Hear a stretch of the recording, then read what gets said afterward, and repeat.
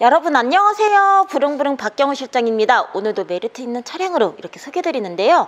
기아 자동차 all new K7 2.4 GDI prestige 등급이고요. 2016년식 11만 1000km 탄 안타까운 유사고 차량입니다. 여기 성능 기록부 참고해서 보시면 될 것 같고요. 일단 외관 상태 꼼꼼히 살펴보도록 할게요. 색상은 흰색 색상이잖아요. 이렇게 외관 보시면 조금의 흠집 말고는 엄청나게 관리 상태 되게 훌륭하고요.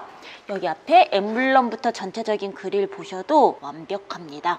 그리고 여기 앞에 전방 센서 이렇게 들어가져 있고 그리고 여기 날렵한 헤드라이트 아래 사고 안개 등 보시면 네, 조금의 사용감은 눈에 보여지고 있고요.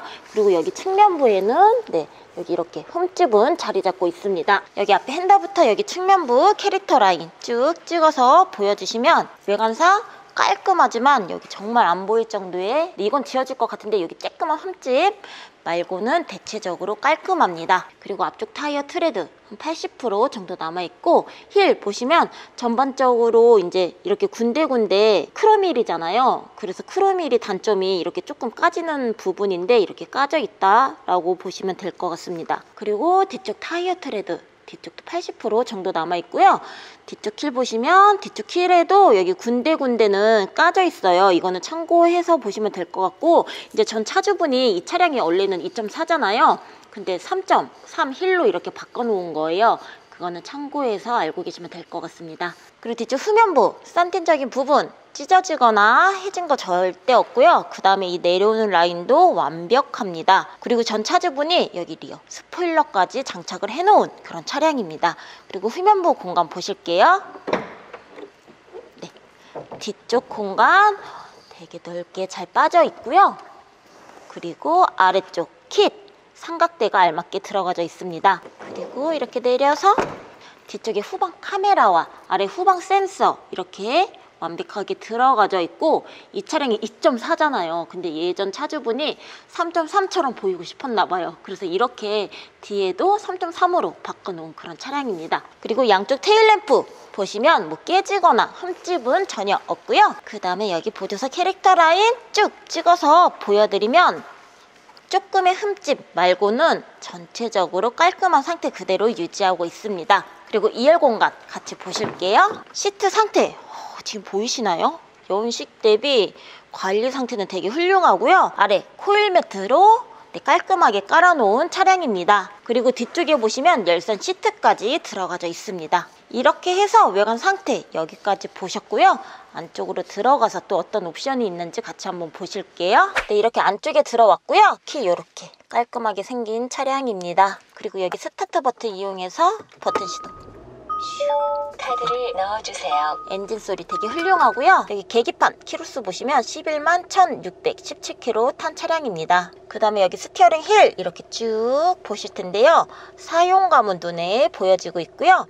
오른편에 cruise control 버튼이 들어가져 있고 왼편에 모드 버튼 mute 핸즈프리 기능, 볼륨 조절 기능 들어가져 있습니다. 그리고 앞쪽에 two 채널 블랙박스와 위에 하이패스 룸미러가 이렇게 장착이 되어져 있고요.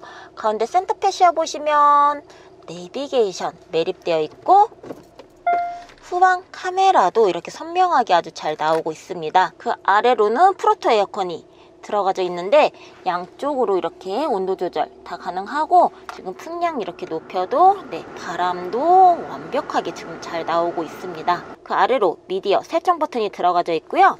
그리고 여기 수납 공간부터 기어 노브 따라서 이렇게 쭉 이렇게 보시면 컨디션은 되게 훌륭하게 되어져 있습니다. 그리고 이쪽에 핸들 열선, 전자 파킹 센서, 양쪽에 열선 시트, 운전석에는 통풍 시트까지 들어가져 있고요. 여기 전자 parking 브레이크, driving 모드, auto hold 기능 들어가져 있습니다. 그리고 운전석도 양쪽으로 이렇게 편리함을 줄 수 있는 전동 시트로 들어가져 있고요.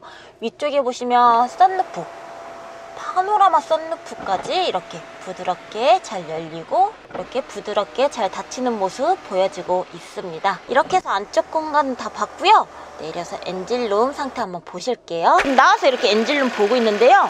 엔진 소리 되게 일정하게 들리고 있고요.